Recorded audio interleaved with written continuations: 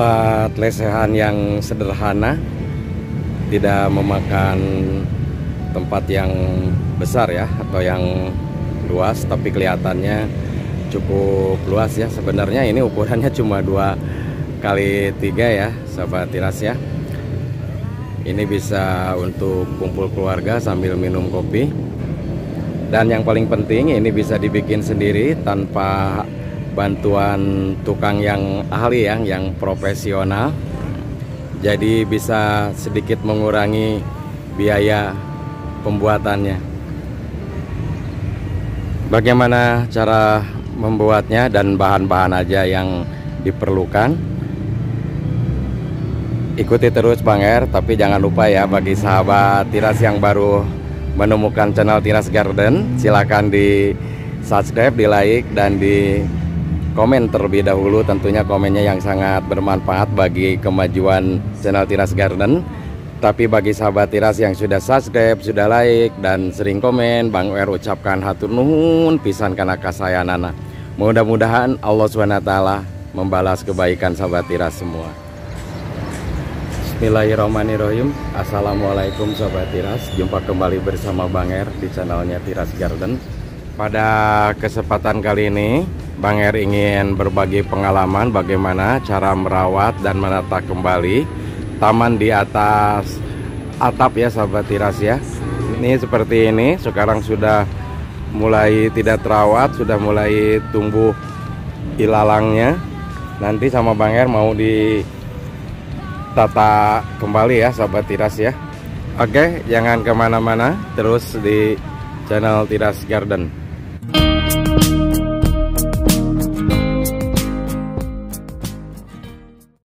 Oke sahabat tiras kita mulai dengan membersihkan dulu rumputnya.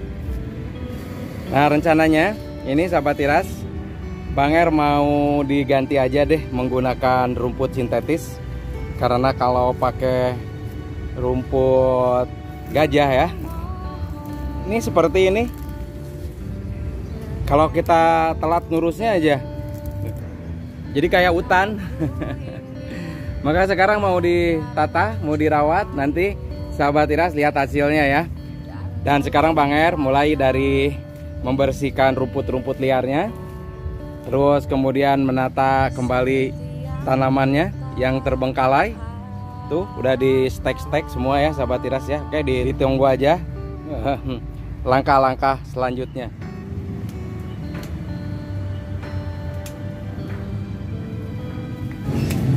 nah kalau ini sekarang lagi membentuk pucuk merah ya sahabat tiras ya. Biar rapih. Di cukuran hela senyum atuh mangalan Nah gitu. Sahabat Tiras Langkah selanjutnya kita akan membuat tempat lesehan ya. Tempat nongkrong Kita sediakan bahan-bahannya seperti rumput sintetis. Kalau ukurannya tergantung tempat yang akan digunakannya. Kemudian kita sediakan pasir ya untuk meratakan permukaannya Karena ini tempat punya Bang Er sudah terlanjur diuruk tanah ya. Tapi kalau punya sahabat tiras misalkan masih beton nggak usah berarti ya nggak usah menggunakan pasir dan tidak usah menggunakan karpet plastik. Tinggal langsung aja nanti rumput sintetisnya digelar ya sahabat tiras ya. Kemudian karpet plastik ya supaya air yang dari bawah nanti tidak merembas ke rumput sintetisnya. Kemudian kita membuat pagarnya ya yang dari kayu terus payung taman. Terus uh, lampu taman dan mungkin terakhir adalah uh, bantal lantai ya untuk lesehannya.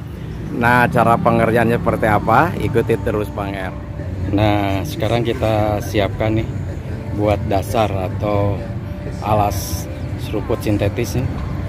Diuruk. Pakai pasir diratain.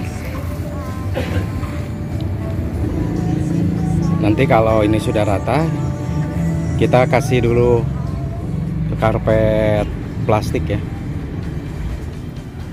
Nah ini rumput sintetisnya nih baru datang. Bang Er beli dari online. Cepet juga nih nyampe nya karpetnya sudah digelar dan rumput sintetisnya nih lagi dibongkar sama Om Alan Ini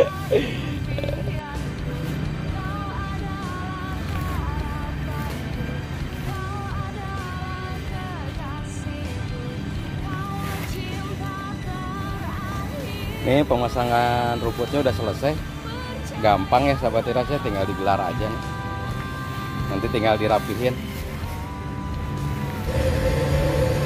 Sahabat tiras, penataan ulang taman di atas atap atau rooftop hampir selesai ya sahabat tiras ya. Ini paketan buat bantalnya baru datang jadi eh, Bang Er tinggal nunggu paketan terakhir adalah lampu sorot ya, lampu tamannya nih.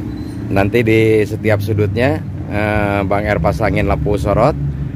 Sekarang lagi di perjalanan ya sahabat tiras ya. Dan semua material ini hampir 90 persennya dibeli dari online. Dan kita buka ya bantal lantainya seperti apa. Bang Er dibantu sama ini nih sama Jet Li. Eh Bruce Lee. Sama Mang Jet Li. Nah kita buka ya ini yang namanya bin bag ya. Coba Mang dudukin Mang Oh, begitu.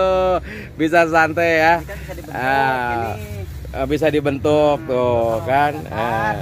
Ah, bisa dibentuk, bisa dibentuk, Mang. Terus gimana? Bisa, bisa duduk? Oh iya. Oh, bisa santai. Ah, Jetli gitu. Hai, halo. Terakhir lagi pasang lampu utamanya nih sama Om Judi.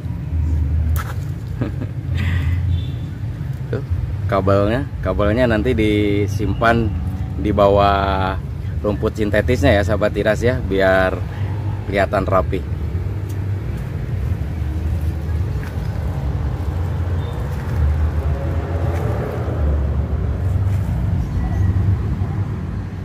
Sahabat tiras airnya sudah selesai. Ini adalah penampakan mini gardennya Ketika malam hari ya seperti ini ya sahabat tiras ya.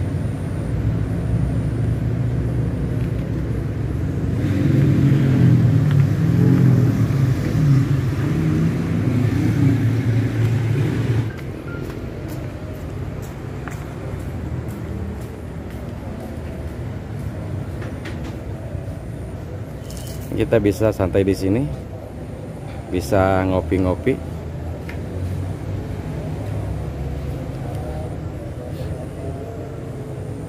terkecuali kalau hujan pasti kita kabur. Sahabat tira bisa menyulap tempat jemuran ya di atas ya seperti ini. Dengan biaya yang sangat minim ya nanti biayanya budgetnya sama Banger nanti di dirincikan. Nanti habis berapa kalau kita buat seperti ini ya sahabat tiras ya. Oke uh, sahabat tiras ini penampakan terakhir setelah jadi ya seperti ini. Dan kira-kira berapa sih budgetnya Bang Er? Budgetnya sih uh, kalau menurut Bang Er uh, cukup terjangkau. Mari kita hitung ya sahabat tiras ya. Ini Bang R menggunakan rumput sintetis ukuran 2 kali 3 ya menjadi 6 meter persegi dengan harga 150.000 per meternya. Bang R membelinya melalui online jadi belum termasuk ongkir ya. Tapi setelah dijumlah jamleh ini kurang lebih uh, eh, 1 juta ya. Jadi yang paling mahal di antara semuanya ini nih rumput sintetisnya ini enak sih empuk ya sahabat tiras ya tuh ini berarti eh, satu uh, juta kemudian kalau menggunakan karpet plastik ya sebagai alasnya ini seperti ini ya supaya nggak tembus air Ini karpet plastiknya Bang R beli sekitar 70.000 berarti udah satu juta 70.000 ya. Kemudian uh, Bang R membeli payung masih dari online ya. Ini payungnya 100.000 sampai ke sini sampai di tempat. Berarti 100.000 itu sama ongkir ya, sahabat tiras ya. Berarti sudah 1.170.000. Nah, ini Bang R pesannya di tukang kusen ini satunya 200.000 berarti Bang R menggunakan dua 400.000 ya kalau di sini kenapa Bang Er nggak menggunakan pagar? Kalau ini menggunakan pagar akan kelihatannya sempit ya sahabat tiras ya. Berarti totalnya ini sudah satu juta 570 ya. Nah kemudian ini.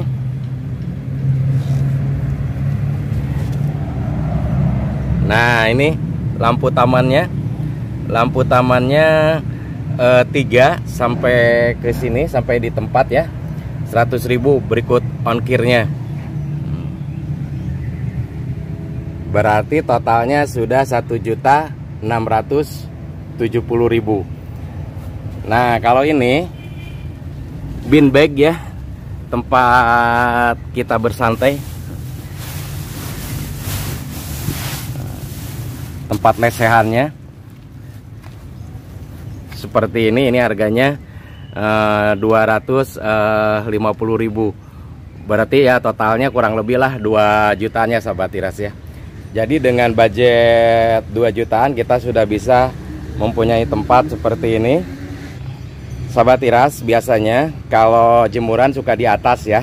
Jadi kita bisa manfaatin untuk membuat seperti ini. Nah itu ya sahabat tiras ya. Mudah-mudahan aja ini menjadi inspirasi bagi sahabat tiras semua. Bila video ini bermanfaat, silahkan di share di seluruh media milik sahabat tiras semua ya. Akhir kata, Bang Er ucapkan wassalamualaikum warahmatullahi wabarakatuh. Kita akan ketemu di video berikutnya. Yuk dadah, yuk bye bye.